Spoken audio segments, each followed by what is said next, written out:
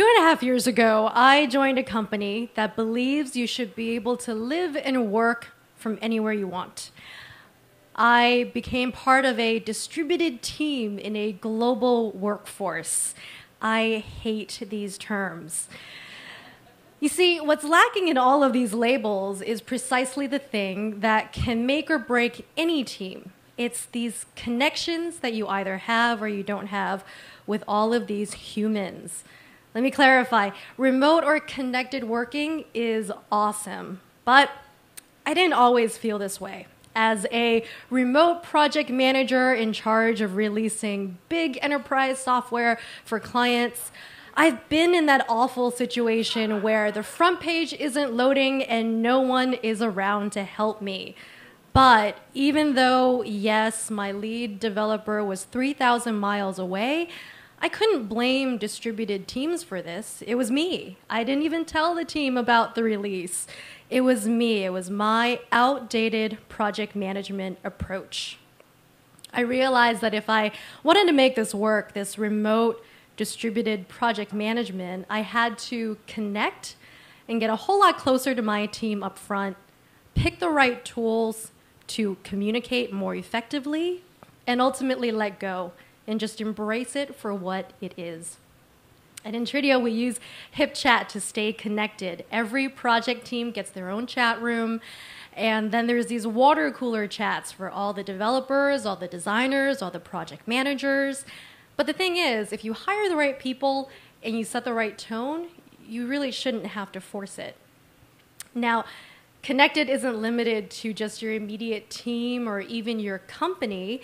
I happen to work in a co working space where I geek out with brilliant people on Node.js and mobile game design. And here's the thing I bring it back. As a team, we are smarter, faster, and more plugged in because we're not in our own echo chamber.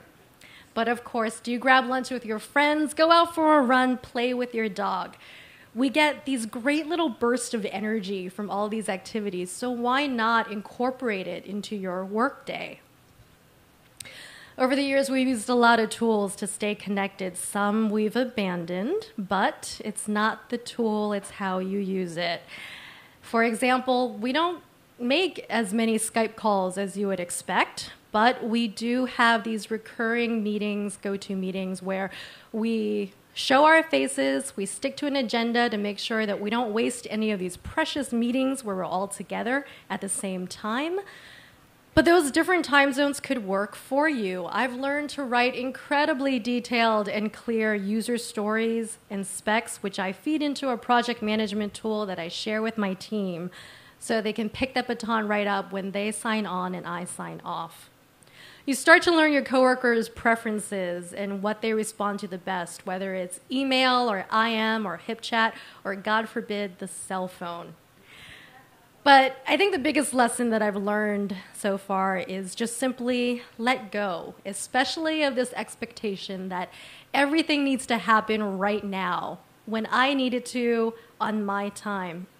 I've completely overhauled the way that I work in order to plan better in advance and accommodate other people's schedules. When you're working with East Coast, West Coast, China, Italy, Vietnam, night owls, early birds, you might feel pressured to always be on, but relax. Just focus on doing your work and doing it well. Again, retool the way that you work so that you can put your questions out there and expect your coworkers to give you advice, but don't make it be this immediate dependency. Put your trust in asynchronous communication. And if you still harbor any stigma about remote or connected teams, or maybe you're just considering whether to make the switch, know this it's all or nothing. Whether it's in your culture, uh, if it's not, it won't work.